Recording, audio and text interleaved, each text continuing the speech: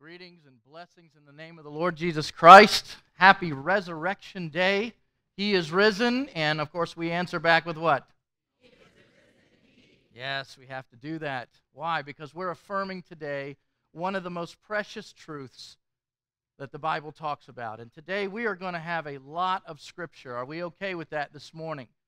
I was really praying, and, and as fun as it would be to get into the brood of vipers speech again with John the Baptist, I thought, you know what? We need to have today a reflection on the resurrection.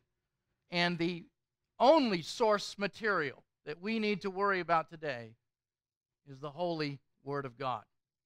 And I think it will stand in distinction to what Easter has become. And I use the word Easter as the world uses it. I'm not going to say that word hereafter today because this has nothing to do with bunnies, eggs, or the goddess Ishtar.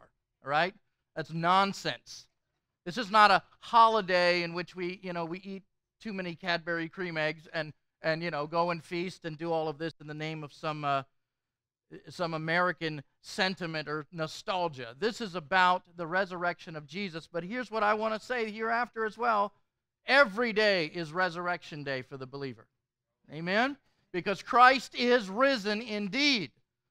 You can go to Muhammad's tomb in Medina. Well, you can't, but a lot of people can. They know where it is. They know where Gautama Buddha is buried. They know where great Hindu sages and, and, and Muslim scholars and all kinds of cult leaders and other religious people, in fact, every human being uh, that we know about, their bones are in the ground, never to arise until the last day. And we'll talk about the resurrection that is facing every person. But Jesus, you will not find his body or his bones. Amen? He is risen, and that is the truth that we celebrate today because if that wasn't true, we wouldn't even need to be here. But he really died, first of all. He did not survive the cross on Good Friday, he gave up his life for us. He was laid in a tomb, and we all affirm these things. And he rose again Sunday morning as he burst forth from the grave, just like we just sang about because the grave had no power over him. Death could not hold him. And I rejoice because my Savior is alive, and because he lives, I will live also. How about you? Amen? Let's get excited this morning about the passages that we're going to read. Turn with me in the Tanakh, the Old Testament, before 2100 BC, perhaps way before, the book of Job, the oldest book in the Bible in terms of its origin the life of Job, so marked with pain and suffering, but also great faith. After all, it was Job who said, Though he slays me, still I will trust in him. Let us look at the passage, Job 19, verses 23 through 27. Extremely powerful words, full of faith, full of expectancy. And it's the type of belief and trust we ought to have in our Savior. Job says these words Job 19, verse 23 through 27. Oh, that my words were written. Oh, that they were inscribed in a book. And that with an iron stylus and, and lead, that they were engraved in the rock forever. As for me, he says, I know that my Redeemer lives, and at the last he will take his stand on the earth. Even after my skin is destroyed, yet from my flesh I shall see God whom I myself shall behold, and whom mine, uh, my eyes will see, and not another. My heart, he says, faints within me. Here we have an early statement of faith in a resurrection. Job not only acknowledges that his Redeemer lives, but he will live and stand on the last day, but he will stand with him. He will see him even after he passes away. This is the power of resurrection being spoken about. Let us fast forward quite a few hundred years to 863 BC in the book of First Kings. I warned you, we're going to go to a lot of scripture. So go to 1 Kings chapter 17 for a moment. I thought as I was praying about this, let's look and focus on the Old Testament first uh, of examples of resurrection. And here's this great story, albeit with a few quirks in it, which I think just make it so interesting. It is in the ministry of Eliyahu Hanabi, Elijah, Elijah the Tishbite. 1 Corinthians, or uh, excuse me, 1 Kings 17, verse 17 through 24 says, It came about after these things that the son of the woman, this is the woman, the widow of Zarephath, the mistress of the house, became sick, and his sickness was so severe that there was no breath left in him. In other words, what? He died. Amen? So she said to Elijah, What have I to do with you, O man of God? You have come to me to bring my iniquity to remembrance and to put my son to death. And he said to her, Give me your son. Then he took him from her bosom and carried him up to the upper room where he was living and laid him on his own bed. He called to the Lord and said, O Lord my God, have you also brought calamity to the widow with whom I am staying by causing her son to die? And then he stretched himself upon the child three times and called to the Lord and said, O Lord my God, I pray you, let this child's life return to him. The Lord heard the voice of Elijah, and the life of the child returned to him, and he revived. Elijah took the child, brought him down from the upper room into the house, and gave him to his mother. And Elijah said, See, your son is alive. Then the woman said to Elijah, Now I know that you are a man of God, and that the word of the Lord in your mouth is truth. Praise God for that story. Isn't that great? Resurrection. The joy, the elation that, uh, that his mom must have felt as she now has her son returned. But notice again, what does Elijah acknowledge? God is in control of life and death. And God granted this power of resurrection in this case. Go with me to 2 Kings. 2 Kings chapter 4, verses 32 to 37. This is the story now of Elijah's disciple, Elisha.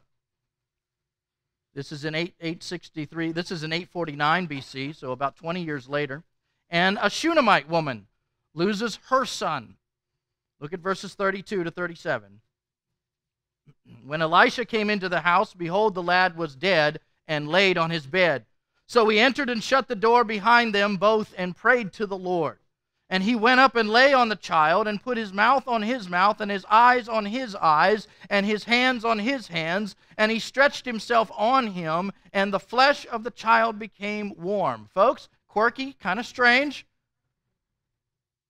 but a divine miracle. His life being restored to him. Verse 35 He returned and walked in the house once back and forth, went up and stretched himself on him again, and the lad sneezed seven times, and the lad opened his eyes. I love it. He called Gehazi and said, Call this Shunammite. So he called her, and when she came into him, he said, Take up your son. She went in and fell at his feet and bowed herself to the ground, and she took up her son and went out. Again, great elation, great joy, kind of strange. But who restored life? Oh, well, it was the body heat of Elijah that. No, it was God giving back life to this dead person. Only God can do that, and we celebrate that this morning. One final episode in 2 Kings. Go to 2 Kings 13.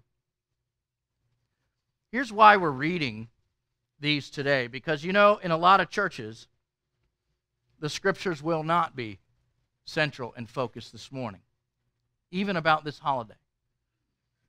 Yes, the resurrection will be mentioned, and I praise God. Even here in Columbus, there are many places that are upholding the Word of God and teaching on the resurrection, and I'm sure that's true worldwide. But there's also a lot of apostasy in the church, and we do well to celebrate today with absolute abandon, if you will, the joy that we get from God's word about resurrection. Here's another cool story 2 Kings 13, verses 20 to 21. Elisha died, and they buried him. Now the bands of the Moabites would invade the land in the spring of the year, and as they were burying a man, in other words, they're throwing him into this, uh, this uh, burial cave or this area where Elisha's uh, body was. Behold, they saw a marauding band, and they cast the man into the grave of Elisha. And when the man touched the bones of Elisha, he revived and stood up on his feet. Anybody ever hear that story? That's resurrection power, buddy. God using the bones of Elisha. Now, none of us need to go out and start grave soaking or frequenting cemeteries to get the anointing from dead people like Benny Hinn and Bethel and all of these people. That's not the point of the story. The point is, God used Elisha's bones for yet another testimony of resurrection. Check this out. Every time we read about a resurrection in the Old Testament, every time we read the words of Job here, and as we fast forward to 725 BC, go with me to Isaiah 26. every time we read anything about God restoring life, and we're not talking about mere resuscitation, we are talking about returning one's soul and spirit to their lifeless corpse. There's a lot of cases today, and I saw an interview this week of a gentleman who believes that he was clinically dead and you know above his body and having a near-death experience and all of this. Listen, this is not about that. This is about someone who is completely absent from the shell that they have been given in this life in this body. They have underwent decay. Their body immediately we're, we're, we're decaying right now. Anybody know that this morning? I don't care how good you look. You're experiencing massive cellular death right now because we're under the curse and in the fall. But praise god our life isn't centered around this world which is passing away it's rooted in eternity because Jesus has given us eternal life, and we will ever be with the Lord, and we will get a glorified body, but I'm getting ahead of myself. Go to Isaiah 26 19. Listen to this. Every time we hear about resurrection in the Old Testament, it points forward to the ultimate resurrection that we are celebrating today, which is Jesus our Lord. Keep that in mind. The Zarephath woman's son the Shunammite woman's son, Elisha's bones bringing life back to somebody. Anytime here, look at, look at Isaiah 26 19. Your dead will live, their corpses will rise. You who lie in the dust, awake and shout for joy, for your dew is as the dew of the dawn, and the earth will give birth to the departed spirits. Now, this is promised in Israel's kingdom song. There's a huge context to this. We don't have time to go through that, but what's the very clear promise here to Israel that there is a resurrection? There will be the return of those who have passed away. Go with me to a glorious passage in Isaiah. They're all glorious, we know that. But go to Isaiah 53. am I going too fast this morning? Okay, because I, I need to go faster, but I won't. We're gonna just we're, we're gonna do this. I believe the Lord will honor the reading of His Word with as minimal commentary from me as possible. Folks, the gospel is so important. Good Friday happened before Resurrection Sunday, and it had to. Jesus had to die. And Jesus really did die. And he allowed sinful man to beat, scorn, mock, spit on, persecute, whip, torment, and eventually nail him to a cross, but he gave up his life. Amen? But not before shedding blood on our behalf. You understand? This is the gospel this morning. If you're watching this, resurrection is the capstone to Christianity. Without resurrection, it's all a big failure.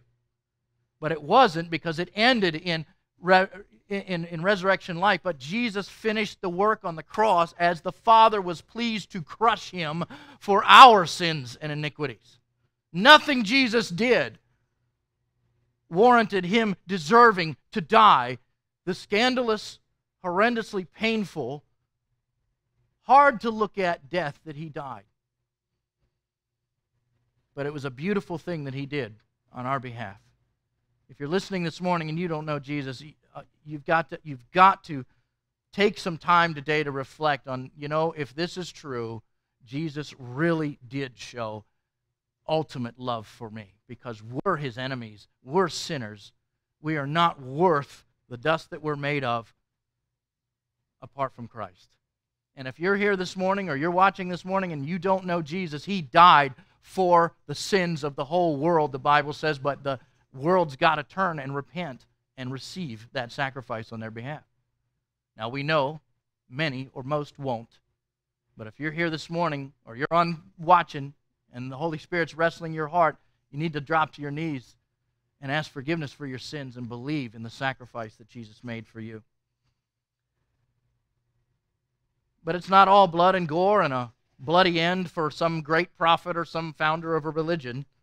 We know that Jesus Christ was God in the flesh we know that he was the ultimate sacrifice, and it says here, verse 10 of Isaiah 53 But the Lord was pleased to crush him, putting him to grief. If he would render himself as a guilt offering, he will see his offspring, and he will prolong his days, and the good pleasure of the Lord will prosper in his hand. As a result of the anguish of his soul, he will see it and be satisfied. That's God will see it and be satisfied. By his knowledge, the righteous one, my servant, will justify the many, as he will bear their iniquities. Therefore, I will allot him a portion with the great. He will divide the booty with the strong, because he poured out himself to death and was numbered with the transgressors. Yet he himself bore the sin of many and interceded for the transgressors. Folks, that is the gospel of what Jesus did on Calvary for us and praise God, his days were prolonged, and he did not see corruption or decay, as Mike read in that passage this morning. And up from the grave, he arose. Amen? But all of these foreshadow this glorious event. For another reference, Daniel 12, verses 1 through 3. This is about the fact that everyone will be resurrected at some point. And, folks, how many of you know you're going to live forever? Amen? I don't care who you are, unbeliever or believer, you're going to live forever. The question is where? The question is with whom? The question is in whose presence are you going to dwell eternally? And I promise you, you want it to be God. You don't want the fiery separation and torment of a place called hell that was created for Satan and his angels. But nonetheless, the only place that you'll be consigned to if you don't believe in Jesus, if you don't trust in the fact that He resurrected, that He died and was buried and was resurrected and purchased our salvation. Daniel 12, verse 1 through 3. At the time of the end, it says, Now at that time, Michael, the great prince who stands guard over the sons of your people, will arise, and there will be a time of distress such as never occurred since there was a nation until that time. And at that time, your people, everyone who is found written in the book, will be rescued.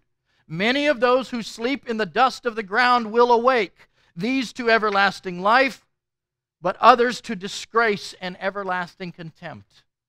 Which one do you want to be? Those who have insight will shine brightly like the brightness of the expanse of heaven. Those who lead the many to righteousness like the stars forever and ever. But as for you, Daniel, he's supposed to then conceal the words and seal up the book. Listen, the resurrection of the dead is coming. And I promise you, you want to have known Jesus Christ in this life so that you can awake to glory and everlasting life. Amen? I'd like to call Dale Purdy forward here this morning. We've got a number of uh, folks that are going to lead us in a prayer of thanksgiving for the passages that we have just read.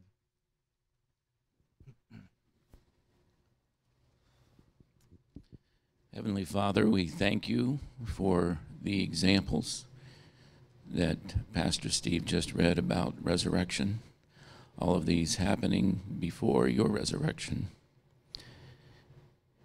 We ask that your word will not go forth from here void. We ask that it would, these these scripture readings would be remembered and permeate our hearts. We thank you in Jesus' name. Let's go to the New Testament this morning. Our Lord and Savior Yeshua affirms that there will be a resurrection. John chapter 5. We will go through these passages very quickly, but I think the truth is very simple and self evident this morning. And my exhortation is that we know that we know that we belong to Jesus today. John chapter 5, verses 28 through 29. Again, there are many contexts in this that we will get to when we get there, but Jesus says, starting in verse 20 5, actually. Truly, truly, I say to you, an hour is coming and now is when the dead will hear the voice of the Son of God, and those who hear will live.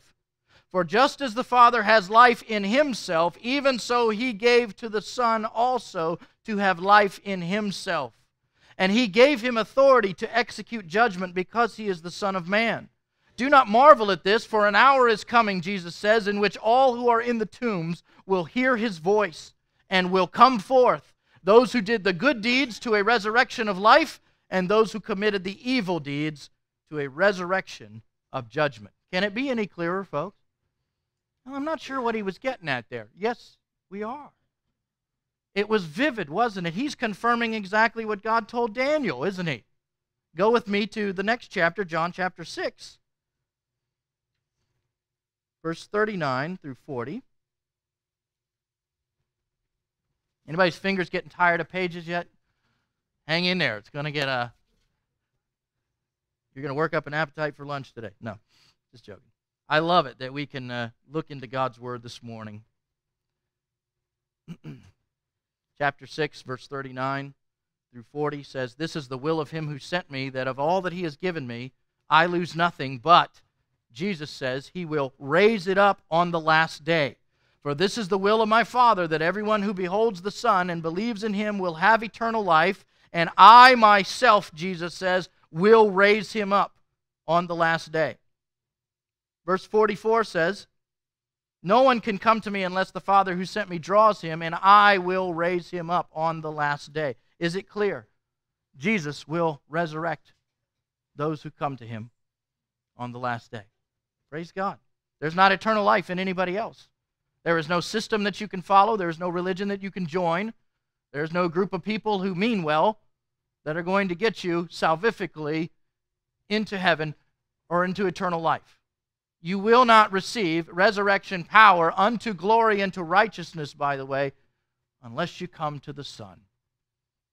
And by the way, you don't want to be resurrected to shame and everlasting contempt with the Son as your judge. Amen? A warning there and a reminder. There's a number of miracles, obviously, that Jesus does resurrection in. I'm going to just read you the reference to two of them Jairus' daughter, Matthew 9, verse 23 through 29, and the widow's only son, Luke 7, verses 11 through 15. But go with me to John chapter 11, the most famous picture I think that most people think of immediately when they talk about resurrection and a dynamic miracle that Christ did. That is Lazarus of Bethany. I'm not going to read the whole story to you. We know the context. He lingered so that Lazarus could die. For what purpose? To display the glorious power of resurrection, to show. This is so wonderful. Starting in verse 17 of John 11.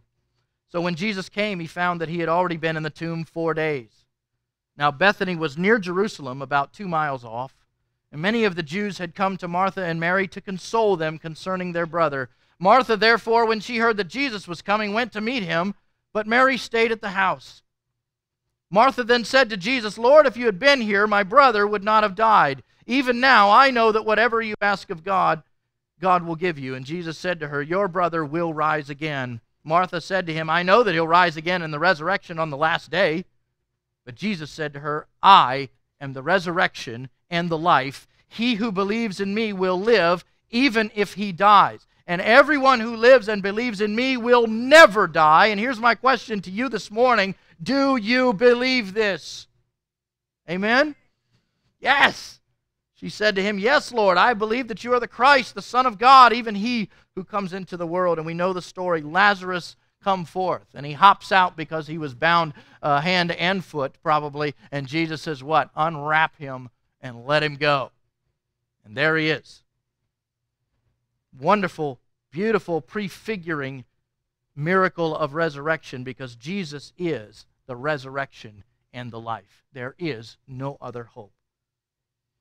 At the death of Christ, you don't need to turn here, but Matthew 28, verse 51 through 54, graves opened and uh, formerly dead folks were seen walking around Jerusalem.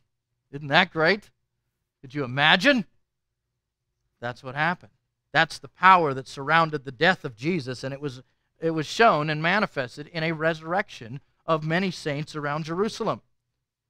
Well, go with me to Luke 24. There are all the gospel accounts of the resurrection of Jesus, but we're just going to read Luke's account. Verses 1 through 12. But on the first day of the week, at early dawn, they came to the tomb bringing the spices which they had prepared and they found the stone rolled away from the tomb. But when they entered, They did not find the body of the Lord Jesus. While they were perplexed about this, behold, two men suddenly stood near them in dazzling clothing. And as the women were terrified and bowed their faces to the ground, the men said to them, Why do you seek the living one among the dead? He is not here, but what? He has risen. Remember how he spoke to you while he was still in Galilee, saying that the Son of Man must be delivered into the hands of sinful men and be crucified, and on the third day rise again. They remembered his words and returned from the tomb and reported all these things to the eleven and to all the rest. Now they were Mary Magdalene and Joanna and Mary, the mother of James. Also, the other women with them were telling these things to the apostles, but these words appeared to them as nonsense, and they would not believe them. But Peter got up and ran to the tomb. Stooping and looking in, he saw the linen wrappings only, and he went away to his home, marveling at what had happened. Folks, we know the rest of the story. Read the other accounts in the Synoptics and in the book of John, and you will, again, celebrate afresh the excitement that must have been theirs that morning, and the fear and the trepidation and the, disbelief and the lack of faith. Because after all, how many of us are used to seeing resurrection? How many of us are used to being told, even though Jesus said and promised over and over, we know that they just didn't get it. But here's the deal He was crucified, He was buried, and He really did rise again, and you cannot go to Jesus' tomb today. Or you might be able to go to the tomb where they think He would have laid, but He's not there. And we don't have His bones in a bone box. I don't care what the liberals and other people say they found Jesus in his wife's, you know, the family grave and all this nonsense. He's not there. He's risen and he's coming back. I'm excited about that this morning. You don't need to turn here, but I'm going to read this to you. By God's power, Peter says in Acts 2:24, God raised him up again, putting an end to the agony of death, since it was impossible for him to be held in its power.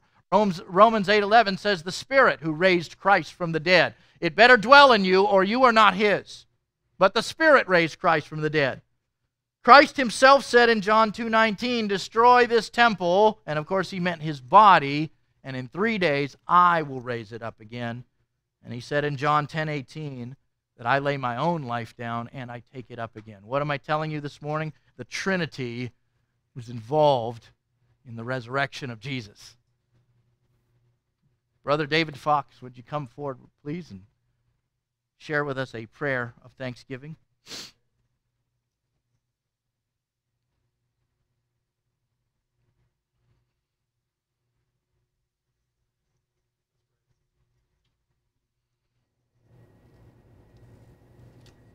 Roma. Here it is. There it is. Join me in prayer, please. Abba, thank you so much for this plan, for what you did, for sending your son out of this unimaginable love. Thank you, Jesus, for humbling yourself and taking my sin and our sins upon yourself. I pray that we will always be repentant and reminded of what you did for us. And thank you. Thank you, God, for raising from the dead. God, we are humbled by what you have done and so thankful that at the last day you are going to raise us up as well, that we will get to be in your family. Thank you for adopting us, God. God, I love you. We love you. I pray that just as you, Jesus, prayed, just as you prayed, that we will all be unified, that we will be as one in mind and heart and spirit, just as you are with the Father. And I pray that we will just carry this with us always. And we'll always keep it in our minds at the forefront of everything that we do and think, and help us to continue to bear fruit in keeping with the Spirit. Prune every branch that does not bear fruit, but make us constantly displaying your love and peace and joy. Remind us that we are righteous, made righteous by you. We thank you, God. Keep us humble. Bless us and keep us. And protect us and help us to stand firm. Amen.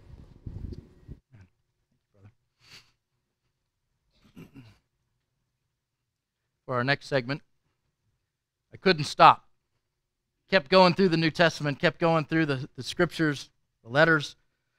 And I found about 40 verses or so, maybe 35 to 40 verses, about the evidence of the resurrection from within Scripture. I call it the body of evidence, the scriptural support that the resurrection really happened. And by faith, we receive those things. And we are not going to go through 40 verses in this next section. We have more to get to after that. So here's what we're going to do I'm going to summarize for you this. If you would like the list of the verses, please come with me after come to me after and I will email it to you this afternoon or you can watch it on YouTube which it will be scrolling along the bottom. Uh, it, it, it's a lot, but here's the summary of the body of evidence. It was proven by the empty tomb, the resurrection was, by angelic testimony, by the testimony of his enemies. John 20 says there were, quote, many infallible proofs of his resurrection. The apostles preaching in the book of Acts, and there are many examples of that. The Lord's Day being the first of the week, that's also a testimony to the resurrection post resurrection appearances like that to Mary Magdalene, to the other women, to two disciples in Luke 24, to Simon Peter, to the apostles, and then to 11 of them in two separate instances in the book of John, to the apostles at the Sea of Tiberias, to the apostles in Galilee, to 500 at once, over 500 brethren at once, to all of the apostles, it says in Luke 24, to Paul, and to James post resurrection appearances. Taking all of those into account, I promise you it is an exciting and glorious study of resurrection and the fact that it is backed up by the testimony of those who saw Christ after he rose again from the dead. Look it up, you will be blessed. Go with me to Acts chapter 1. We're nearing the end of our time today, but we do have a few more moments, so please stick with me here. Acts chapter 1. Verse 3 after it says that he, he had given by the Holy Spirit orders to the apostles whom he had chosen, to these it says, He also presented himself alive after his suffering by many convincing proofs, appearing to them over a period of 40 days and speaking of the things concerning the kingdom of God. Wouldn't you have loved to have been there for that intense month and 10 days of teaching before the ascension? I promise you that would have been enriching. Look at verse 22 of Acts chapter 1. Verse 22 says, Beginning with the baptism of John until the day that he was taken up from us, one of these must become a witness with us of his resurrection. And again, this is the conversation about who was going to take Judas' place. But it had to be based on the fact that they had witnessed his resurrection. Go with me to Peter's second sermon in Acts chapter 3. Just a few statements that ought to ring in our hearts this morning about how convinced these men, actually in Acts 2 first, I'm sorry. Go to Acts 2, verses 29 through 33. this is on the day of Pentecost. And Peter says these following power packed words Brethren, I may confidently, confidently say to you regarding the patriarch David that he both died and was buried and his tomb is with us to this day. And so, because he was a prophet and knew that God had sworn to him with an oath to seat one of his descendants on the throne, he looked ahead and spoke of the resurrection of the Christ, that he was neither abandoned to Hades nor did his flesh suffer decay. This Jesus God raised up again, to which we are all witnesses. What an awesome testimony.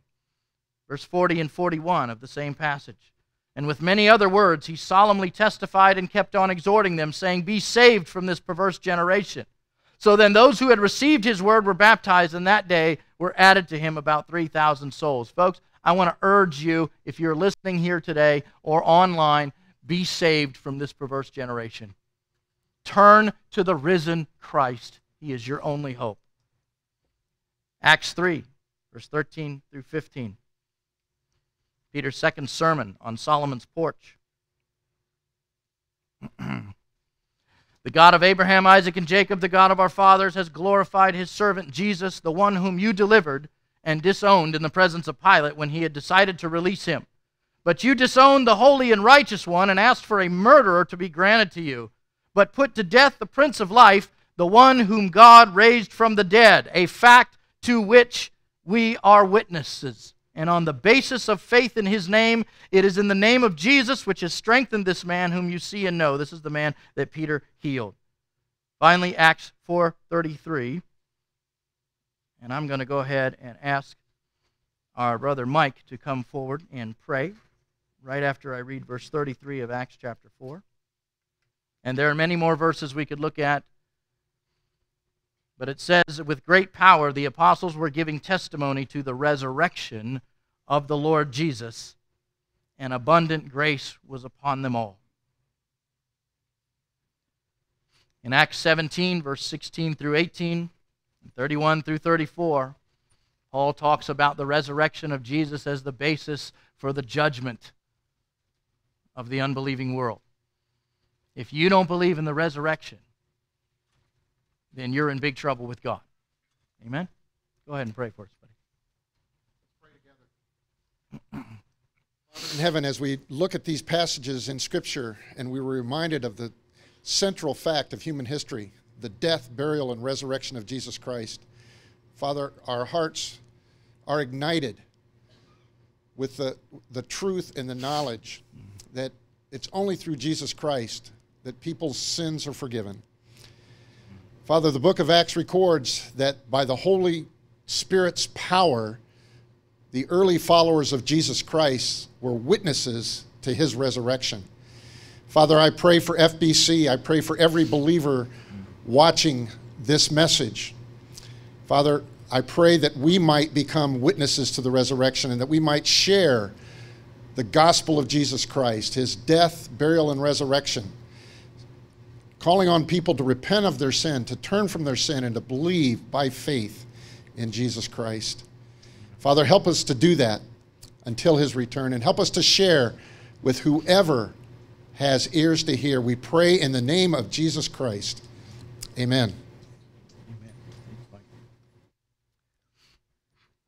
In closing here this morning, as we're uh, almost out of time together on this wonderful Resurrection Sunday, Turn with me to Philippians chapter 3. We're going to read two portions from the writings of Paul. The climax of which is going to be 1 Corinthians 15. We're going to read a portion of that because that's probably the best or, or, or the most concise, uh, not concise, but specific treatise on resurrection. And I urge you to make that a point of study this week as you think about the glorious event that we're celebrating today. But in Philippians 3, verses 7 through 10, Paul talks about the goal of his life. He says, Whatever things were gained to me, those things I have counted as loss for the sake of Christ. More than that, he says, I count all things to be loss in view of the surpassing value of knowing Christ Jesus my Lord, for whom I have suffered the loss of all things, and I count them but rubbish or dung, so that I may gain Christ Ask yourself, first of all, is that your attitude in life? Are you willing to take all the accolades of men, all of your accomplishments, all of your good reputation, all of anything that you've ever worked hard to earn for, all of the victories that you've ever experienced, all of the lessons that you've learned even in your defeats, all of the things that make you feel really good about yourself or that the world says is important for your status and for your for your positions in this life in the pecking order, are you willing to take it all and say it is a pile of skubala? That's the Greek word for dung. That's what it is. Compared to what? Knowing Christ. My friends, if you haven't gained Christ, you've lost it all. If you die without gaining Christ, nothing mattered. It was a waste. And it's literally waste when you compare it to the glories of knowing Jesus. Amen? How many of y'all had a bad week? I'm not going to get Joel Osteen on you and tell you, you know, well, let's make it better with a smile. No. Some of us have had horrendous weeks. And you know what? My heart goes out to John this morning, who lost his mom this week, but he didn't lose her. Amen. She's in the presence of the risen Savior whom she loved and who she gained. But the rest of us have got to live down here and deal with some stuff, and some of us are going through some really big, insurmountable in human terms problems. And I promise you, though, it's not worth stress and pain and anguish but that's all you got if you don't have Jesus this morning. And I'm so thankful that we as believers can say, Therein is our strength. His goal continues. Verse 9, he says, I want to be found in him, not having a righteousness of my own derived from the law, but that which is through faith in Christ. The righteousness which comes from God on the basis of faith, that I may know him and the power of his resurrection and the fellowship of his sufferings, being conformed to his death, in order that I may attain to the resurrection of the dead. Folks, doesn't that put everything in perspective? That's why he can go on to write, I'm forgetting all that stuff which is behind, and I'm pressing forward, man. I am looking forward to the day when we are delivered from these bodies of death. When we, because of what Christ has done, will experience eternal life and peace and shalom and this, this, this awesome, never ending, uh, sinless perfection experience with Jesus. Are you ready? Are you hungry? Are you not groaning along with all creation for this to happen? Are you not this morning finding that Jesus Christ is more important than anything, any joy, Again, any accomplishment, any relationship you have on this earth, I promise you, the one with Jesus is the crucial, we'll use a word that was taken from crucifixion, it's crucial to your eternal life. And Paul recognized that's what's worth striving for in the strength that God provides. 1 Corinthians 15. Brother Bill read a portion of it this morning for the scriptures. I'd like to reread that portion and just read a lengthier chunk here of 1 Corinthians 15. And then we've got one or two other places to go, and we will close. But I'm going to have Brother Bill come up here in a moment and uh, lead us in a prayer of thanksgiving for this section. Again, Paul's treatise on the fact of Christ's resurrection. Let me tell you, this guy was convinced that Jesus rose again. So were all of the apostles because they all met death and persecution in some way. John dying a natural death, but not after being, you know, attempted to boil him in oil and being exiled to Patmos. Something happened to these men where they were convinced that the one to one correspondence was there. The body they put in the tomb was the body that appeared to them afterwards, restored and glorified. And they went forth mightily and died because they knew Jesus had risen. Listen closely, 1 Corinthians 15, beginning in verse 1. Now I make known to you, brethren, the gospel which I preached to you, Paul says, which you also received, in which also you stand, by which also you are saved, if you hold fast the word which I preached to you, unless you believed in vain. It's a warning. He says, For I delivered to you as of first importance what I also received that Christ died for our sins according to the Scriptures, and that he was buried and that he was raised on the third day according to the scriptures. Amen. This morning has been about according to the scriptures. And that he appeared to Cephas and then to the twelve. After that, he appeared to more than 500 brethren at one time, most of whom remain until now, but some have fallen asleep. But in other words, go ask them. There's people in that number that saw the risen Christ, Paul says. Verse 7 Then he appeared to James, then to all the apostles. And last of all, as to one untimely born, Paul says, he appeared to me also. For I'm the least of the apostles, not fit to be called an apostle, because I persecuted the church of God. But by the grace of God I am what I am, and his grace toward me did not prove vain. But I labored even more than all of them, yet not I, but the grace of God with me. Whether then it was I or they, so we preached, and so you believed. Now, if Christ is preached that he had been raised from the dead, then how do some among you say there is no resurrection of the dead? What a question. But if there is no resurrection of the dead, not even Christ has been raised. And if Christ has not been raised, beloved, this morning, then our preaching, Paul says to them, is vain. Your faith is also useless or vain. Moreover, he says, we are even found to be false witnesses of God. We're liars because we testified against God that he raised Christ, whom he did not raise, if, in fact, the dead are not raised. I love his argumentation here. Amen? Excited about this? Verse 16 For if the dead are not raised, man, not even Christ has been raised. And if Christ has not been raised, your faith is worthless. You're still in your sins, and that, that's frightening.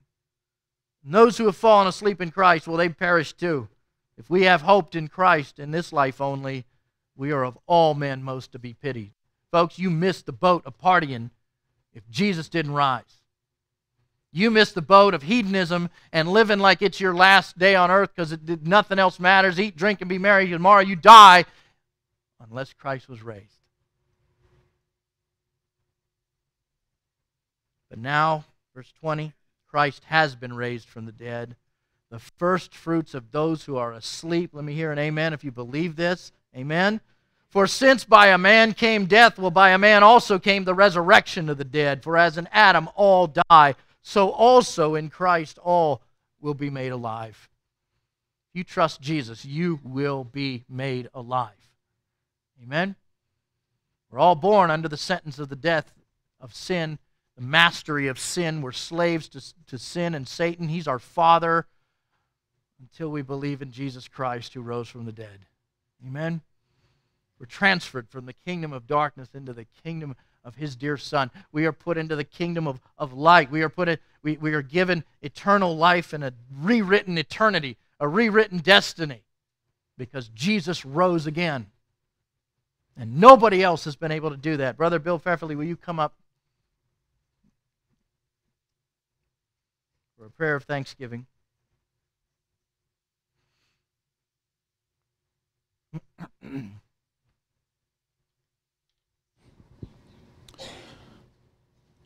Father, this portion of your word is proof of the resurrection of our Lord Jesus. Amen.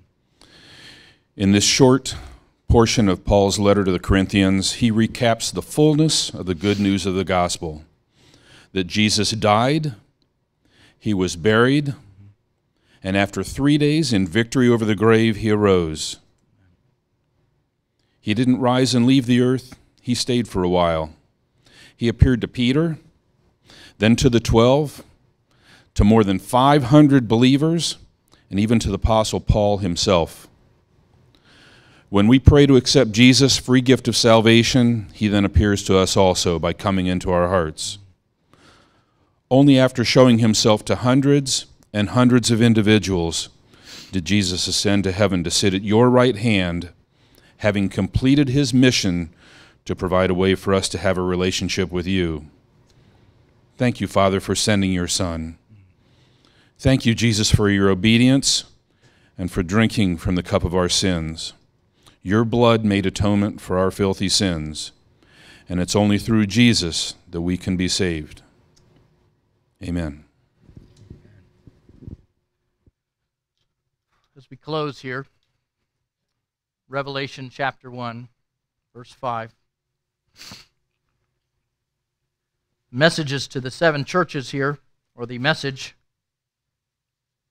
is from Jesus Christ, verse 5 says, the faithful witness, the firstborn of the dead, and the ruler of the kings of the earth.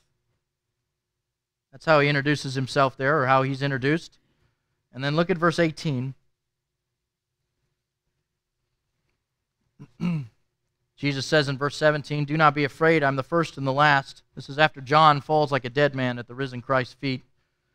Verse 18, Jesus says, I'm the living one. And I was dead, and behold, I am alive forevermore. And I have the keys to death and of Hades, the grave. Who do you want to trust today? Who are you trusting? I'm going to trust in a risen Savior who says, I was dead, but I am alive forevermore. In John 14, 19, Jesus promised his disciples, Because I live, you shall live also. Folks, treasure this certainty in your hearts today. Take this with you. Ask the Lord to help you in your unbelief at times when life just looms so large that we go throughout a day not thinking about the resurrection. Anybody done that? Some days I find a right about lunch, I'm like, oh yeah, uh, Jesus. Let it not be said of us anymore that we would go forth on fire as saints of the living God who serve a living Savior and who have eternal life awaiting us, not because of our righteousness or goodness, but because of Christ's righteousness that has been given to all who have embraced him as their living, risen Lord and Savior. Romans 10:9 says, right? If you confess with your mouth and believe in your heart that Jesus is Lord and God has raised him from the dead, you will be saved. There's the invitation. There's the commission. And let's ask God for strength and certainty in these last days. Amen. He is risen. Father, thank you this morning for this time of prayer and reflection. Lord, I know these passages were uh, lengthy and we went through them very quickly, and there's context to all of it that we do well to learn and understand, to make a part of our daily bread as we read your word. Father, we need to be serious in these last days that we are standing on a faith that is founded on fact, on a faith that has, here's the proof for the resurrection. And we need to be able to manifest in our lives with the strength of God that He provides this glorious new life that we've been given. We need to live like Christ. We need to minister to others like Jesus would have us do so. And we need to ever point people to the death, burial, and resurrection. And the certainty that because He lives, we will live also, and He is coming back because He is the living King. He will rule and reign, and every knee will bow, and every tongue will confess that He is Lord. And Father, we thank you for the gift of your Son, and we thank you for the gift of eternal life that is ours because Jesus was the first fruits of the resurrection. Thank you, Lord. In Jesus' name, amen.